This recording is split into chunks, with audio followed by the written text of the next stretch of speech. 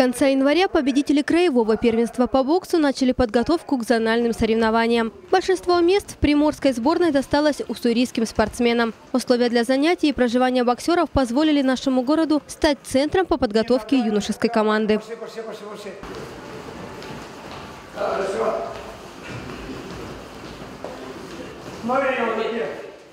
Победа на предстоящем первенстве Дальнего Востока позволит попасть спортсменам на всероссийские соревнования. По их результатам будет формироваться сборная для участия в первенстве Европы. И каждая победа сделает боксеров ближе к выступлению на еще одном престижном соревновании для юношей. Самые интересные соревнования, самые такие важные – это Всемирные юношеские Олимпийские игры. Я, поверьте мне, я был там еще в 1996 году.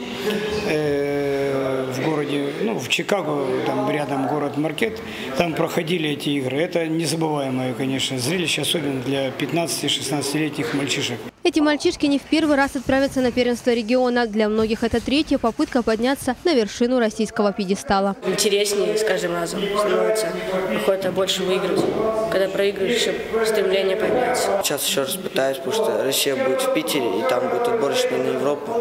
Надо хотя бы что-то занимать и выигрывать. В эти выходные боксеры выступят на первенстве Дальневосточного федерального округа, которое пройдет в Благовещенске. И его победители встретятся в ринге с лучшими боксерами России в категории 15-16 лет.